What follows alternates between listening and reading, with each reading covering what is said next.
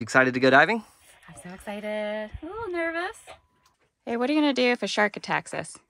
Oh, that's why I carry needle. Jab it in the eye. What if that doesn't work? Hmm. We pull our anchor at sunrise and then enjoy a three hour sail as we head to the dive site. Today we're beginning Lisa's advanced scuba diving training.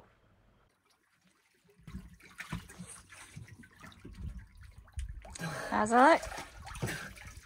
I can't see anything. Oh. Are you excited to go shark diving? Yeah, I really am excited. I'm excited to see a lot of them, a little nervous and a little rusty, but let's get down there.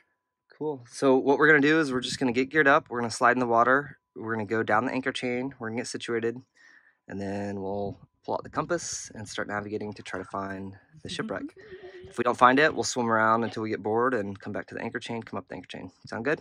Sounds good. So we're here today on a shipwreck called the Edward Williams. Edward Williams is made famous by a company called Stuart's Cove. Stuart's Cove is a dive operation here in South Nassau. I think Rob Dyrdek came here one time when he had a shark bite suit that he wanted to test. And they do shark feedings on top of the deck of the shipwreck.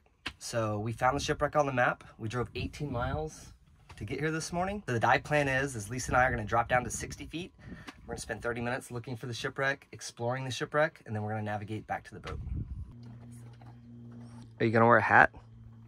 I'm gonna wear a dive hat so that way my hair doesn't get wet. I'm gonna try to keep my luscious locks. You know a lot of people are gonna see this video, right?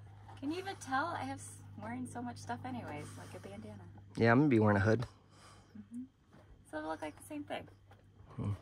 At the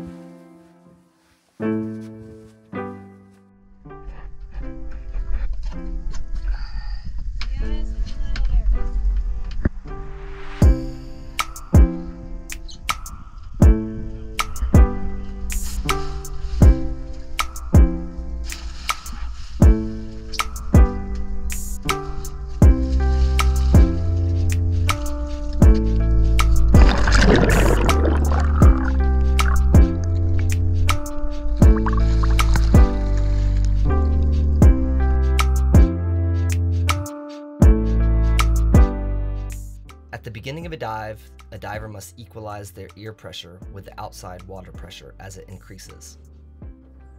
Lisa has difficulty equalizing her ears in the first 10 feet. She signals to me that she's having some discomfort, so we stop what we're doing and we come up a couple of feet. Coming up a couple of feet allows the water pressure around her to dissipate just a little bit and allows her to clear her ears. You can see me suggest two techniques to Lisa rolling her head side to side and rubbing on her neck to help clear a blockage in the eustachian tubes.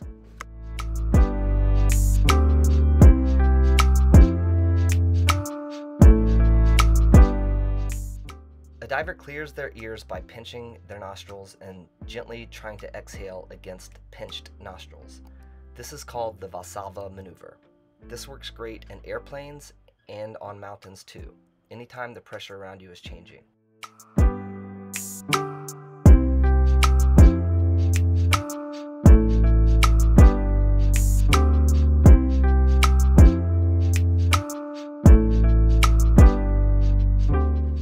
A diver should continue to equalize their ears every three feet until they reach the bottom. Once you're on the bottom, there's no need to continue clearing your ears, only if the depth increases.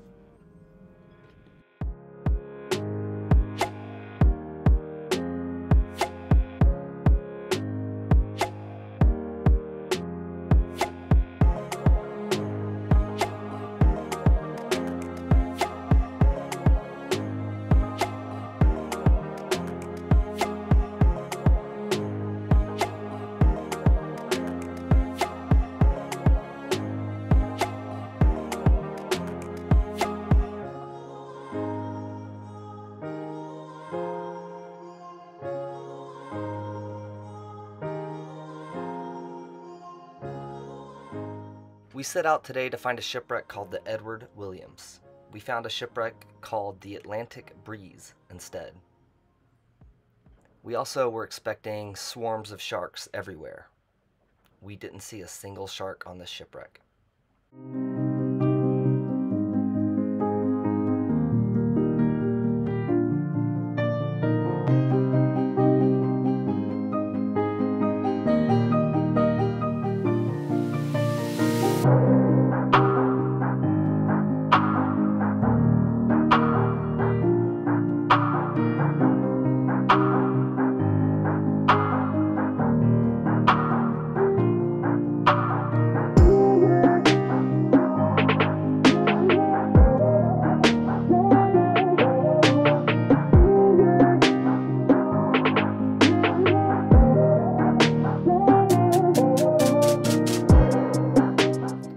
This is Lisa's first dive to 60 feet.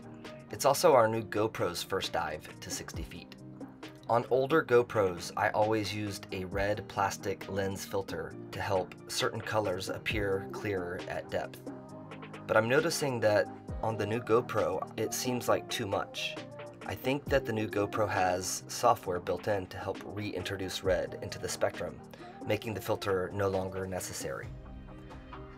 Take a look at these two clips and let us know what you think. Which one looks better?